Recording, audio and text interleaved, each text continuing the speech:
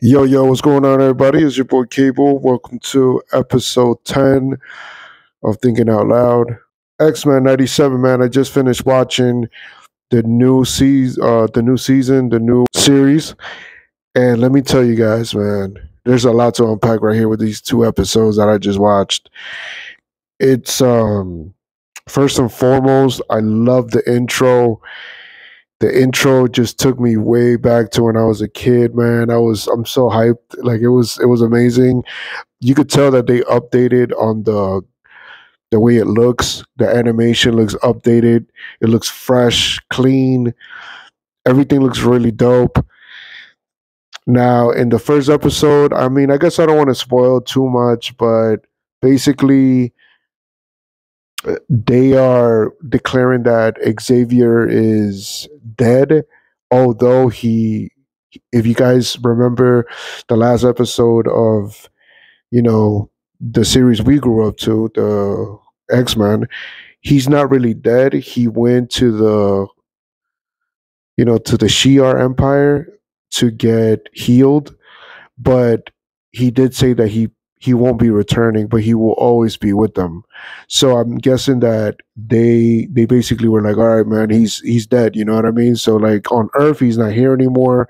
So we're just gonna declare him dead. You know.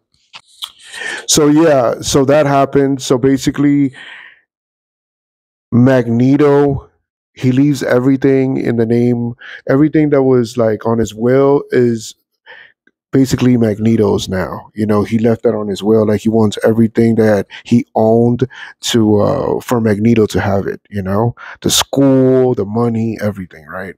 So that was pretty interesting because you know, uh, Cyclops feel he feels kind of like, damn, you know, like he didn't trust me. Like, what's going on with that? I don't, I don't agree with, you know, him doing that. But he, he has to play along because that's th- th- at the end of the day, those were Xavier's wishes. You know, the show is really comic book accurate, and if you guys read the comic books, you know what I'm talking about. You know, there's a lot of um, a lot of drama already. Uh, about to happen you know like with these two episodes you see a lot of drama the beginning of it. You know, like for example, you see. I'm about to give you guys some spoilers. Forget about it. I, I said I wasn't gonna give you spoilers, but yo, main things that happen on the show. Magneto, you know, becomes the leader of the X Men. Another thing that happens is it's crazy. I didn't see that coming, but it does happen in the comic book. So, you know, it was cool to see uh, happen in the cartoons right now.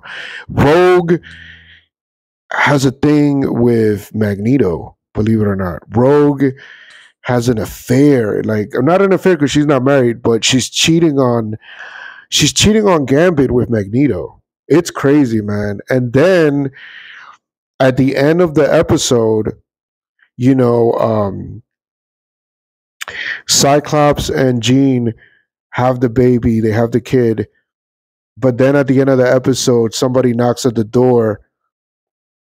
Oh, and another thing that happens going back Storm loses her powers. They shoot her with this gun that affects their mutant ability to a molecular level. So it's like it, they're saying that it's permanent. So she decides to leave the X Men. I don't know if it's going to be a permanent thing or whatever, but she's she decides to leave. So basically, at the end of the at the end of the second episode, they're knocking, and then Morph is like, "Oh, it's probably her coming back." And when they open the door, it's the real Jean Grey.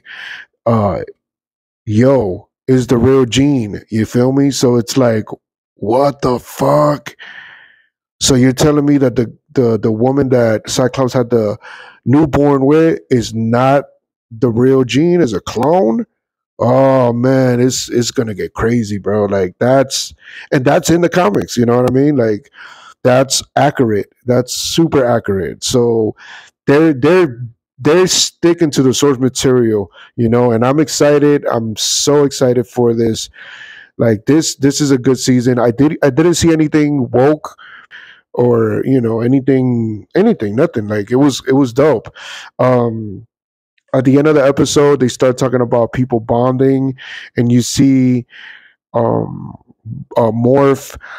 He goes and joins Wolverine for some drinks, and then they start, you know, hanging out and you know, just cool like homie shit. You know, like like they you could tell they're just really good friends. You know what I mean? Nothing, nothing, nothing uh, out of the ordinary there. And then um, you see you see Rogue cheating on on Gambit, you know? And there's another part that you see Gambit, he notices it. He's starting to notice Rogue uh, acting weird, you know? So there's a lot there's a lot that's going to happen in the near uh, in the near future in these episodes. A lot of things are going to unravel and I, I I have a feeling they're going to unravel really quick, you know? But no woke stuff in the show yet, you know? Everything's good. I'm loving it. I'm absolutely loving the show and the animation is awesome. The action scenes are, are sharp, they're fun, they're exciting, and they're very entertaining to watch. Like when they're fighting the Sentinels in the first episode, that was super dope. That was crazy. That was I was feeling it, you know? And it lets you really know how strong these guys are. Like there's a part where Beast basically um trips one of the sentinels by lifting his foot. You know how heavy that foot is? So that mean, that lets you know how strong Beast really is. Uh, Wolverine as well, super strong, super durable. Morph, super ill. He transforms into different characters to like fight the not only the Sentinels but other enemies in the show. So yeah, man, the show is is a lot of fun. I'm excited. I can't wait to see the next couple episodes. I will be reporting on it, you know and talking about it. If you guys, you know, like this type of content, and even if you don't, I'm still gonna do it because I'm a fan of X Men and I'm a fan of this show since I was a kid. I'm just really happy to see the show back. Let's go. Till next time.